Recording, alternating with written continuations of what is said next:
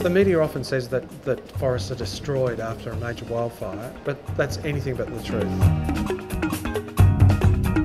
We found with all our work driving around after these fires that there was such a positive story to be found in all the work that we were doing. So these forests, the way they were recovering was absolutely remarkable. Certainly had some surprises after the fires. Some of the rainforest species that people always assume die if fire hits them, things like myrtle Beech, the Nothofagus, came back spectacularly well.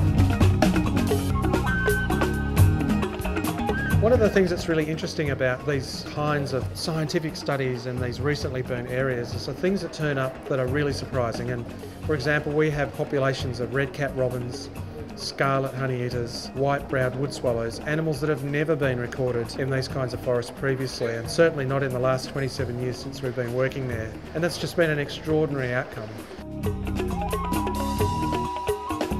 We were in just a few months after the fire passed and we just started taking photos straight away and recording some really interesting things. So we felt it was a positive story coming out of all of our work up in those fire affected areas. The images of that forest regenerating and, and coppicing and, and resprouting, I think are, are, really significant to a lot of people, particularly in the fire affected areas. A lot of local community people have, have found that really important and, and very cathartic.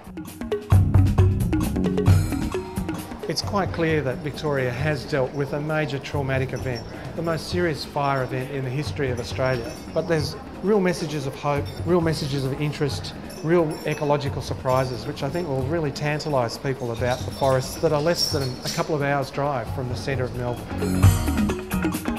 It gives a lot of people a real sense of hope.